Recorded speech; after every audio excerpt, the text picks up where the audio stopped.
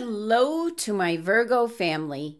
This is Barb at Mystic Door Tarot. This is your weekly intuitive tarot reading for the week of December 20th through the 26th.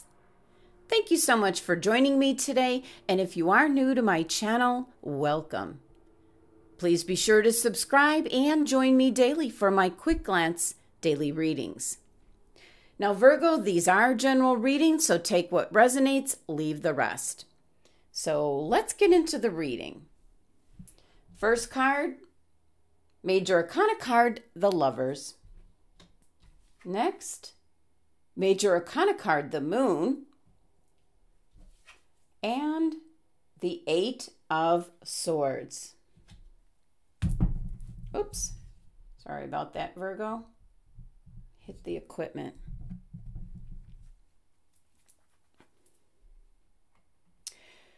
Well, I feel like maybe past issues, experiences, or possibly mistakes are kind of resurfacing for the holiday week. So I'm really picking up kind of the need for a healing energy this week, Virgo. Also, kind of a, the eliminating of control possibly in regards to the holiday this week, where kind of like where things should be held, how they should be done, those type of things. Kind of relinquishing the control of that. Letting someone else take the reins is what I'm picking up. Or this could be that somebody already has, and that might be kind of the difficulty. All right, Virgo. So you have not one but two major arcana cards. So it's an indication that there's some change coming in this week. Maybe a turning point for you. Could be that you've always been the one that has the holidays at your home. And maybe due to the circumstances, it might be somewhere else this year. And that can be like where you're not having 100% control over everything. You have the major arcana card, the lovers. This has everything to do with choices and decisions being made, certainly in regards to relationships, people around you. And the angel here up above, his message is coming down from the divine. So, this is guidance, messages coming in for you this week, Virgo. Maybe how to handle like uh, what you know is going to be an upcoming situation. Now, the Lover's card is Gemini's card in energy. So, the characteristics with this energy is one where it's like independent, very free, very communicative, but can be very persuasive. So, there could be a situation with family or friends, maybe in regards to some of the people that are coming over for the holiday, where you might have made some choices or decisions that were perceived not in the best light, you might say. The lover's card is in regards to choices and decisions that we make or we've made in the past. And it's kind of an indication here to you're going to have to take responsibility and ownership for the choices that you have made. So there's something that needs to be addressed this week. It's probably going to surface or it could be something that's resurfacing. The lover's card is trying to come to that compromise, having the cooperation, especially since this is an energy that's concerning like the important people around you. So let's pull a clarifying card for the lover's card, see what additional information we can get but definitely there's some messages, there's some divine guidance trying to get through to you this week, Virgo. Okay, we have another major arcana card, Temperance. So it's an indication you need to change, Virgo, and Temperance is a card of compromise. So definitely there's going to be maybe some give and take, some compromise, in regards to maybe your choices or decisions. This is definitely like a topic that's going to be coming up this week, Virgo. Now, your next card, major arcana card, the moon, definitely can be someone hiding something from you, or you're the one that's doing the hiding from everyone. So you're feeling a bit uneasy, not sure of how things are going to go. Definitely a card to really examine everything from all sides before taking any kind of action. And it can also be an indication to keep some things hidden for now. At the start of the week is the 20th, so we just had a full moon. So it's like a new cycle beginning again. So that's what I'm picking up for you, Virgo. So actually, it could be something that has been working behind the scenes. Maybe you've been thinking about it, talking about it. Something that maybe the people around you aren't aware of yet. Something that you're keeping from them, Virgo. And it certainly could be like I'm really picking up this might be like in regards to one particular Virgo that this is going to resonate with. But for some reason, my guides are pushing this at me. This is like the third time they keep pushing this vision where you're downsizing, Virgo. So you're not going to have the big house anymore where everyone comes over for the big dinners. You're downsizing, making things easier for you. And that's really not going over too well with the family. So that's just a particular message and vision that my guides were giving me.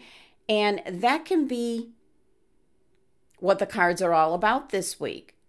So there could be something that you're hiding from the rest of the family. Let's say you might be downsizing. And as I said, or moving and for some of you, you might be retiring. I'm really picking up a more mature Virgo energy here where you're making some life changes for you know, your later years, retirement.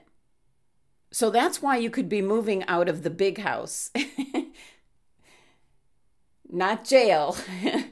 I always think of the big house, you know, the house that everyone grew up in. You're going off into something much, much smaller. So, moving possibly further away where your family, it's like just, they're just so surprised by this.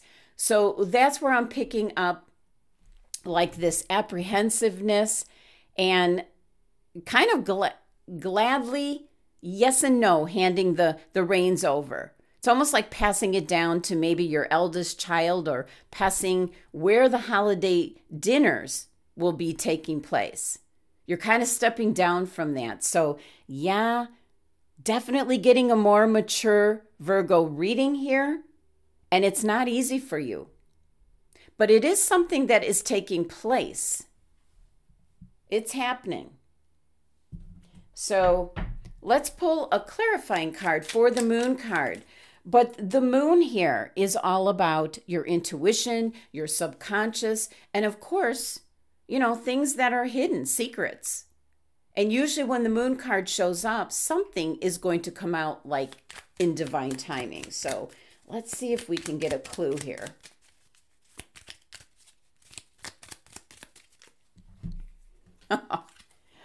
the Eight of Wands, and they're shooting off. Whatever you're hiding, Virgo, that might be coming out this week. Maybe at a inopportune time, somebody's going to spill the beans. Because the Eight of Wands, it's something that's taken off. And I feel that you're going off to you're going off to something. So for the more mature Virgo individuals, I feel you're taking off. You're yeah, you're taking off. You're um, it's it's how it's feeling to your family where you're like taking off, you're going into a smaller place, something easier for you to handle and to a new area. Now, for others, this is again something that you're kind of hiding.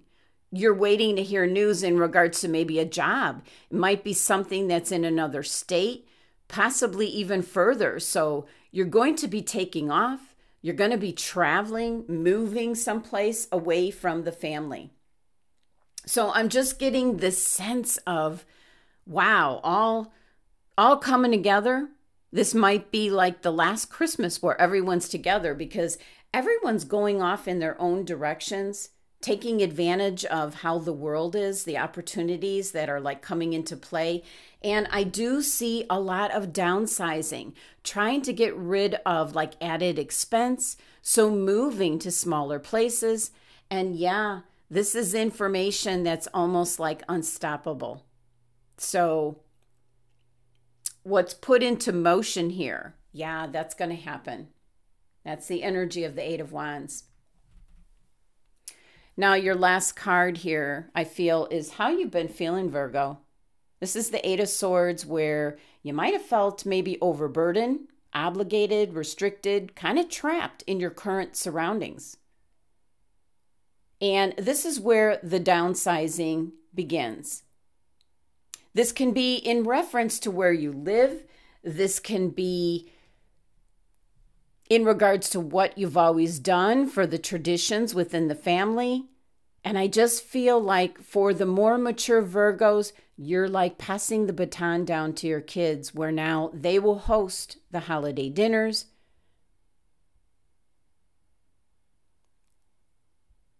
Yeah, there's specific messages coming in, but this is a card of like wanting to get out of feeling this way. All of the obligations and burdens. All this could be in regards to even a job that you have. Maybe you want to go to something simpler. Again, for the more mature Virgos, this could be leaving a career, maybe taking a simpler job or even just part time.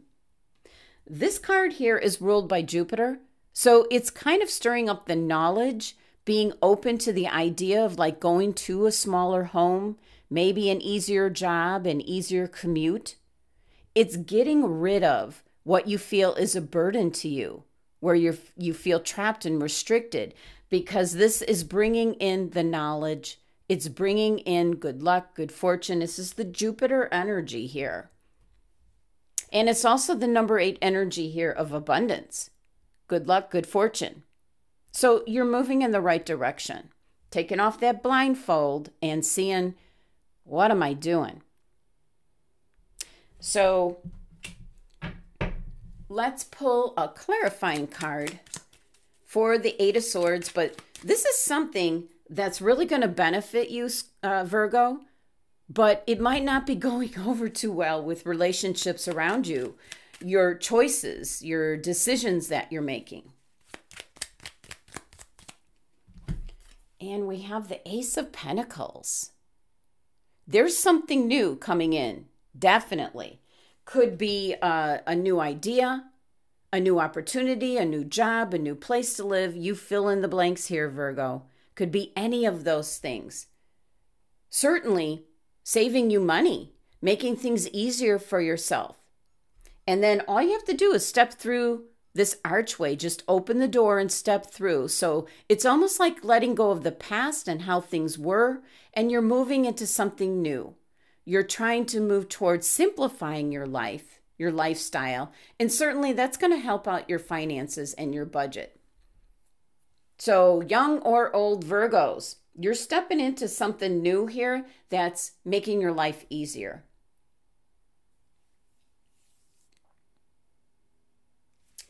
Now, your numerology for your three tarot cards is number 32, which actually reduces to five. And there's the difficulty. Your numerology is an indication with this difficult number five energy, things are going to be shaken up. You're breaking old habits, traditions. You're wanting to change things up. And once you get the ball rolling and you get started, you're going to be so glad you did, Virgo. So, again, this can refer to moving house, changing jobs, moving to a new city, all in the name of simplifying your life getting rid of what feels like a burden to you, which can be a huge home when maybe there's only one or two of you living there. Kind of a huge decision. And you have not one but two major arcana cards, so there's definitely it's representing some kind of life event coming in, a big change. And it certainly might not be popular with the people around you. Now let's take a look at your last tarot card here, which is pulling like your tarot card meaning all together. Oh, and the Five of Swords. Well, the Five of Swords is what I was picking up that kind of energy for the week ahead, where there's going to be discussions, um, arguments, different viewpoints, opinions, because there's some kind of decision or choice, maybe more than one that you're making at this time, Virgo. Certainly can be in regards to love relationships.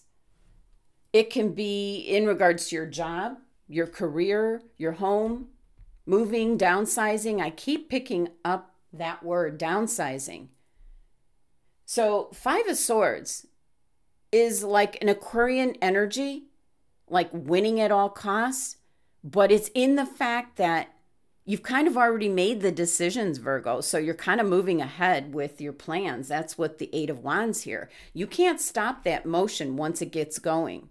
So the Five of Swords showing up can be getting in an argument, possibly where you're saying things you really don't mean, but now that you said it, you can't take it back. It can be that you might be giving into something where maybe you're leaving like a relationship that was not for your health and well being, but it might have been on the abusive side and you're kind of keeping it a secret, Virgo, because you don't want to hear, I told you so, from your family and friends. So it's that kind of winning, but in a very like secretive way. You're not exactly wanting the information to get out. You're waiting for the best time, is what I'm picking up. But what I love with all this energy, Virgo, is the fact that you're doing what's best for you. You might have been feeling overburdened, too much responsibility, too much to take care of. And when you can simplify your life, you're moving. Whoops. Keep hitting the equipment. You're moving in that direction. So that's the nice thing. That's the good thing. All right, let's look at the crystal for the week ahead. Lepidolite. Dealing with your third eye and crown chakras, so it's certainly about trusting in the universe, just staying strong and positive, standing in your own power knowing that you're exactly where you're meant to be right now, Virgo.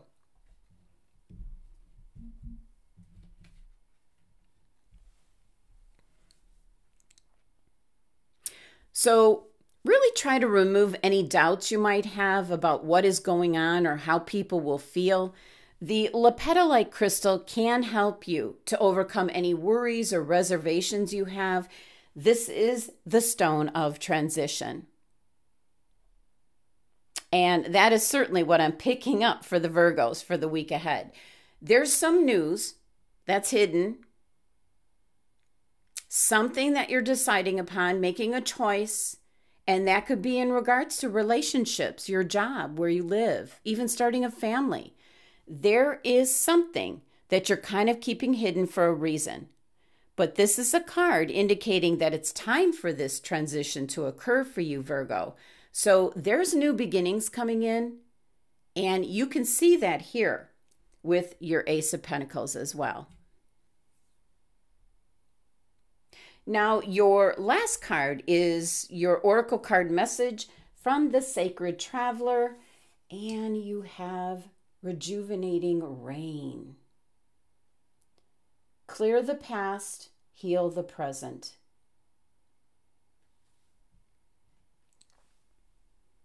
This is a card of cleansing, clearing maybe the energy here with the Five of Swords, because this is like uh, emotional wounds it's referring to. It's an indication of a release of past life limitations. So, releasing what has become such a burden to you, and you might feel guilty about it. But this card is saying, release it all. All is forgiven. Just move forward. Let it all go. You have to do that, Virgo, in order for new growth to come in. The old must be cleared away. So, definitely indicating a time here of clearing out what doesn't serve and support you. It also refers to cleaning out the clutter too And if you're downsizing, that is precisely what you're doing. An indication with this card here to use water for cleansing your energy field. And depending on where you live in the world, easiest way to do that is in the shower. But going to the ocean, um, maybe being able to get caught in the rain or run in the rain might not be a doable thing at this time of year, depending on the weather. So, definitely a card to use water for cleansing your energy, relieving yourself of all the stress and worry and obligation. The guilt. Because you it seems here your reading is all about your doing what's best for you, Virgo. And that has to be your first and foremost thought.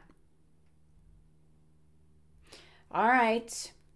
Whatever is taking place this week, Virgo, everyone will eventually understand and accept the changes, the choices that it looks like you're making at this time for your life. Thank you so much for joining me today. Happy holidays, Virgo. And please be sure to subscribe, help support my channel. For private tarot card readings, the links are listed below. Love and abundance to my Virgo family.